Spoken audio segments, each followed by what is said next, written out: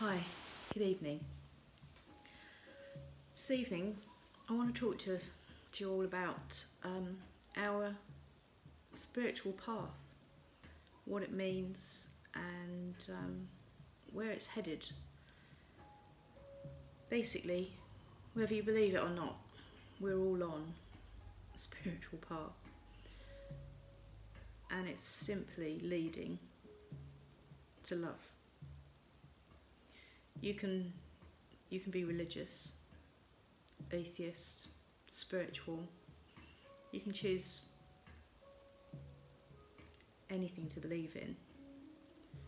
But ultimately, every single one of those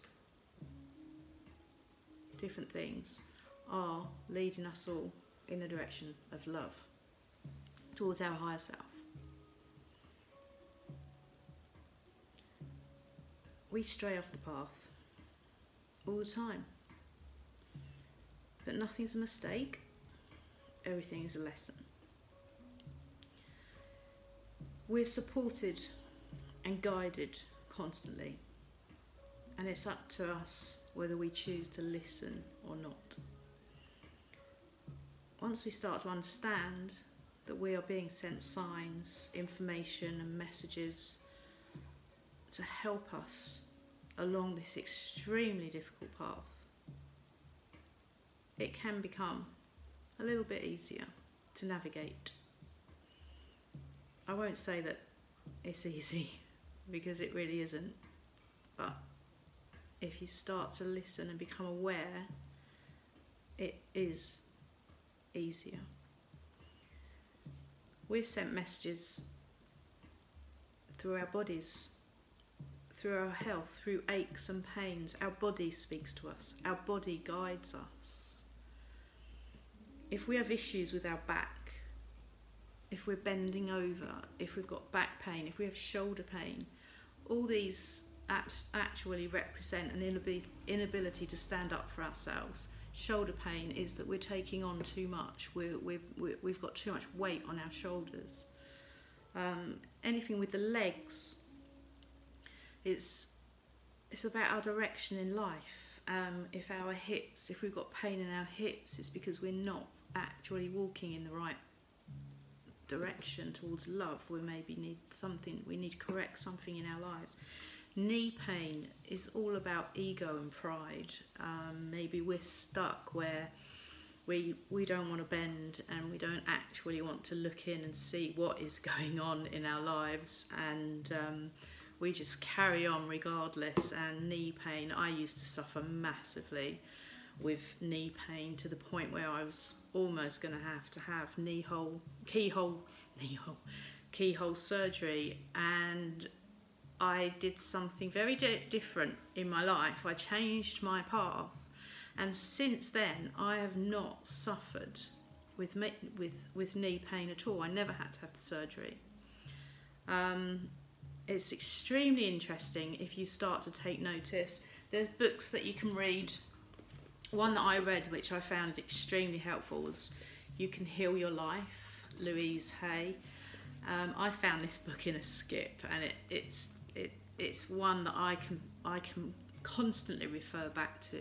And if any of you are suffering with any pains or illnesses or anything, and would like me to just write from this book what they say about it then send me a message privately if you want to keep it private or or write in the comments if you're happy for it to be public because it, it always helps other people if um, you know some people are shy to come forward. So yeah if, if you've got anything that you'd like to know I will do my best to look through the book and respond to you guys.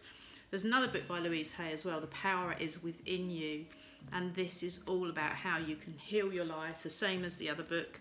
It's about how we deserve love and it's it helps us walk along that path to towards love. And um, I highly recommend those those two books. So yeah our body is speaking to us all the time. If you get a sudden pain don't just go oh my god that was that's because of, I've been playing golf or that's because I was playing tennis right? Look a bit deeper okay? Because there's always going to be an underlying emotional reason. There's always going to be a, a, a reason why your body is speaking to you. You could play tennis for 10 years and never get that pain, okay? Now, suddenly, if you're getting a pain from playing tennis, have a think about it. What's going in your on in on in your life, okay? Because your body is trying to speak to you. It speaks to you if you get a sore throat or a cold, it means that you're not speaking up, you're not speaking your truth. Maybe you're telling lies, maybe you're too scared to, to actually say how you feel. And so spirit will will talk will, will will have your body speak to you by giving you illnesses around your throat. Um, so many. I could I could go on and on and on, but I'm not going to. Um, we're all very familiar of with feathers and coins we cro- that cross our path and i think most of us if we see a feather we're like we know who that is. It's like oh well that's my nana. She's just saying hi from you know from the spirit world. Um, but look look again. When you see things when you repeatedly see things on your path have a think have a think what they might mean to you. Even look them up. There are loads of books about signs. There's one called Signposts. Um, that was quite a funny story for me two years ago. I kept seeing this massive, massive signpost. Literally, it was this big, and this is at the beginning of my awareness of my spiritual journey. And I remember going and, and sitting on the boat with my partner and saying, I keep seeing this, but I can't work out what on earth it, it means, what does it represent. I know it's trying to speak to me. And she just said, Ah, oh, there's a book called Signposts, Signpost, and it's all about all the different signs that spirit sends to us to to give us messages and things. Of course, I bought the book, and yeah, it, it um, the story just evolved from there. So yeah, if you if you're interested, have a look at that book as well. Um, I'm not sure if it's sitting right behind me, so I can't. I'll look up the author for you later. I think it's over the other side of the room. So, yeah, my dad leaves things. He he's ever since my trip to Scotland, which some of you know about, some of you don't, where I had a smashed up wing mirror on my camper van and found um, a big cable tie on the beach, which sorted me out. Thanks, Dad. Ever since then, he sends me cable cable ties, and, he, and and and they'll be if I'm heading in the right direction, they will be heading in the right direction. They're like, yes, Sharon, you're doing the right thing. If I've come to a crossroads, I'll see two cable ties tied together like that. Um, all sorts of things. There'll be a, you know there'll be cross paths and always sending me messages with with cable ties and and um, nuts and bolts and washers and screws. You can imagine, yeah, screw you. Yeah, I've had quite a lot of those um, when I've had to leave people behind in my life. Um, so yeah, there are always signs. There's always guidance, and once you start looking, numbers, synchronicity, angel numbers. Um, I've I look at um, a specific site for my angel numbers. I think it's called Sacred Sacred Scribe. Again, I'll post a link to that once I've um, posted this video. It, literally, the numbers. If you keep seeing repeated numbers, you know, 11s, 22s, or for me, I saw so many 7s, 17s, 67s um, and and and they they've been a huge part of, of my progress over the last two years of being becoming aware of myself and my own spiritual path. So yeah, it, it can be all really fun and exciting, but the most important thing is to understand that when you're in a really dark place, because we can't really avoid them, they it happens. Life isn't all butterflies and sunshine. We we do have dark places, but that is where we do most of our growth. That is where we learn most of our lessons is in our dark places, and um, it's really important when you're in those places. You will be sent signs, and and it's really important to have faith and trust that everything is happening for your highest good. Okay, and and and if you're in any doubt in any doubt at all, the best thing to do is actually take some time. I love to go walk on the seawall, you guys all know that. Take some time on your own, unplug your headphones and and and go either sit in silence. It depends what you like, yeah? Some people like to do yoga, some people like to sit in silence and meditate. I love walking meditation. I love to go walk on my own on the sea wall and I will speak out loud to spirit and I get responses and I get answers and and and and yeah, let your emotions come out. Let let everything come out so that you can heal yourself. It's so important that we have to heal all our past wounds.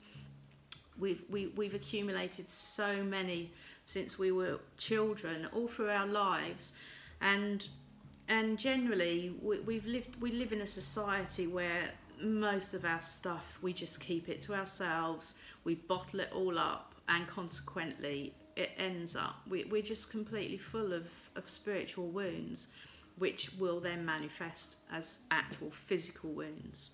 So yeah let your emotions come out and speak out loud to spirit and and and, and have conversations with with the people that you've lost and, and you'll soon start to see that they are talking to you um, another way spirit talks to us as well is with um, i'm in my car. A couple of years ago i had so many flat tires. I think i had like four flat tires in the in about four months. And again it was like slow down sharon.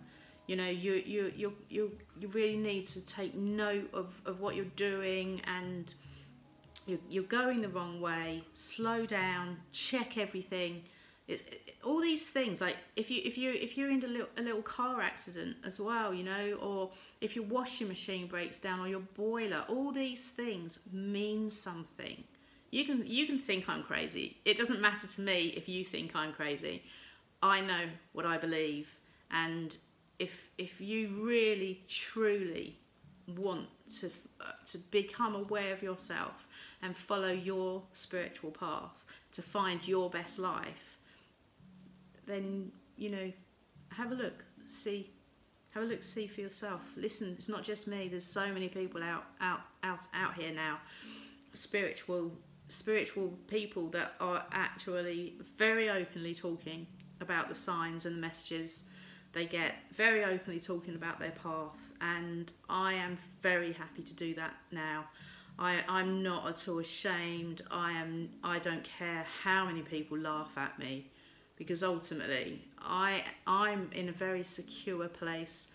These these past two and a half years have have, have been the the most amazing two and a half years for me. I have grown beyond belief for myself. My life has changed dramatically. And yeah, I'm becoming the, the person that I was always supposed to be, and I'm very proud of myself for that for that achievement. So yeah, don't let anyone make fun of you. And if they do, just leave, just avoid them. You know, just come and, and and and be with people who share your beliefs, who share your your your way, your you know, who who who are very open and want to want to want to do this together. There's so many so many of us out here now. So if you feel like that, I'm I'm running a couple of six week courses. Monday evening and a Wednesday morning. They start in uh, one on the, the 11th of November, the Monday night, and the 6th of November, the, the Wednesday morning. So if anyone wants to sign up for those, send me a message. I've already got quite a few people, but I've, you know, there's space. So, what else can I say? A spiritual awakening is the most beautiful thing. It is the most difficult thing because ultimately you're having to face your own darkness. You're having to look in and become very aware and conscious of, of, of your thoughts, of your words, and your own behaviour and you learn to take responsibility. You understand that nothing that you think, say, or do is anybody else's problem. It's only yours. You're the only one who has control over yourself, nobody else. Nobody is to blame for anything I think, say, or do. And no one, no one is going to determine my life. I determine my own life. And that is the same for every single one of us. We create our own life, okay? No one else has any power over us unless we allow it. And that's actually a whole other story. So, signs, messages, signs. They're called cledons. That's such a lovely word, isn't it? All the signs they're called cledons. They actually have a name, and um, yeah, just just be aware. Open your eyes. Don't walk around with your eyes shut. Don't be a sheep. Open your eyes and and start following this path because it is amazing. It's awesome. Um, and so yeah, if any of you want to come along to my meetings, as I said, drop me a message. Any of you want to know what any of your signs mean, your dreams, any of your physical ailments, ailments, sorry, um, anything that you that you've had happening to you that you think you're if you're sitting there thinking, oh yeah, this has been happening to me and it's really weird. It's not weird, okay? Drop me a message if you don't understand it and we'll see if we can work it out together, okay? Take care. Oh, wait, before you go, I a card. Since we've been talking about signs and messages, let's see if we can have a message this evening from Spirit. Of course, this is this is a very easy way for us all to get messages. Spirit finds it extremely easy to talk to us through the cards, and um, if you uh, if you if you if you're not if you're struggling to interpret your signs or you're struggling to see the signs, get yourself a deck of cards and and ask your questions and don't expect yes or no answers. Okay, and sometimes the cards the answers are actually really puzzling, but the puzzling ones are generally the ones that you really need to take more notice of. It's again, it's very easy to have a card that tells you that everything's all lovely and and happy, but uh, one of the, the difficult messages are the ones which um, are, are um, usually really important. So here we've got card number 18, ruminate. Right, I've not had this card before. Ruminate. Take note of how you take on the energy around you. Do you tend to immerse yourself in unconstructive energy? Are you taking responsibility for a situation that really has nothing to do with you? Do you hold yourself in reproach for circumstances you have no control over? This might include feeling somehow responsible for inclement weather or someone else's bad mood.